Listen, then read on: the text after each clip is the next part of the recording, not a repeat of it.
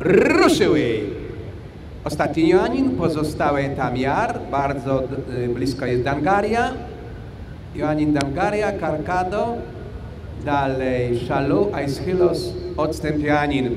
I 1200 metrów do celownika.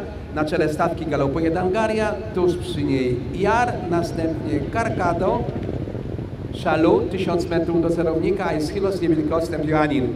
Około 900 metrów przed celownikiem, nadal na czele stawki Dangaria tuż Jar, Karkado, Szalu, Aeschylos, odstęp Joanin. 800 metrów, nadal to samo, Dangaria, Jar, Karkado, Szalu, Aeschylos, blisko siebie i w niewielkim odstępie Joanin. Na około 600 metrów nadal Dangaria i Jar. Stawka jest największym kołem Aeschylos. Prowadzi Jar z Dangarią, finiszuje polem Aeschylos i to bardzo ładnie finiszuje.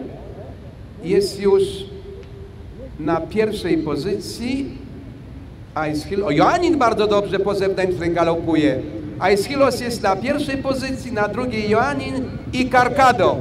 Aeschylos, Aeschylos na drugiej pozycji jest Karkado razem. Walka o drugie miejsce, bo Aeschylos jest zdecydowanie na pierwszej pozycji. Aeschylos, Joannin, Karkado, Dangaria, Jar i Szalu.